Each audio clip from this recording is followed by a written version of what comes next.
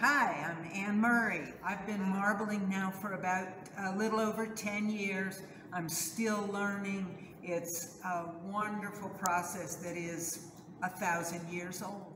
So marbling is one part science, one part art. You certainly want to know something about color theory and one part magic.